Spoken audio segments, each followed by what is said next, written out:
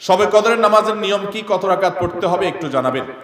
সবে কদরের নামাজের নিয়ম কি? একটু আগে আমরা বলেছি যে সবে কদরের নামাজের আলাদা কোনো নিয়ম নাই।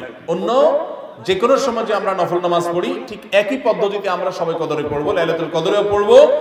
আমরা বিশেষ করে অনেকে মনে করি লাইলাতুল কদরের প্রথম রাকাতে অমুক সূরা এতবার পড়তে হয়, সূরা ফাতিহার পর দ্বিতীয় রাকাতে তমুক সূরা ততবার পড়তে হয়। এগুলো সবগুলো মানুষের নিজেদের বানানো। কোরআন বা হাদিস এরকম কোনো ফরম্যাট সবে কদরের জন্য আলাদা, ঠিক করে দেয় নাই, ওইটাকে আমরা আবশ্যক বানালে বরং সেটা বেদাত হতে হবে, বেদাত হতে পারে। আমরা দু রেখাত দু রেখাত করে যত লম্বা সময় পারি যে কোনো সূরা দিয়ে পারি, আমরা বেশি বেশি করে নামাজ পড়ব, সবে কদর ইনশাআল্লাহ। তাআলা সবে কদরের কোনো আমল আছে কিনা? সবে কদরের আমল আছে ভাই। সবে কদরের সব ধরনের ইবাদতই করার চেষ্টা করতে হবে, সাধ্য অনুযায়ী যেগুলো করা সম্ভব হয়। বিশেষ করে কোরআন তেলাওয়াত করা দুরাকাত দুরাকাত করে লম্বা কেরাত, লম্বা রুকু, সিজদা দিয়ে যতটুকু পারেন নফল নামাজ পড়বেন।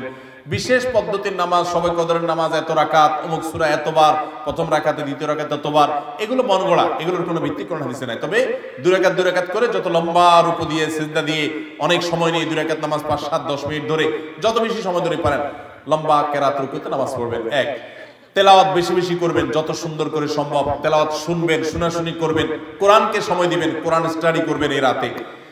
আর বিশেষ করে একটা দোয়া আমাদের আয়েশাকে রাদিয়াল্লাহু তাআলা আনহাকে নবী করিম সাল্লাল্লাহু আলাইহি শিক্ষা দিয়েছেন, আল্লাহুম্মা ইন্নাকা আফুউন তুহিব্বুল আফওয়া ফাআফু আননি। আল্লাহ, আপনি ক্ষমাশীল, ক্ষমাকে ভালোবাসেন, আপনি আমাকে ক্ষমা করুন। আর আল্লাহর কাছে দোয়া, ইস্তেগফার, রোনাজারি, চোখের পানি ফেলা, গুনাহ মাফ চাওয়া, এগুলো করতে থাকবেন।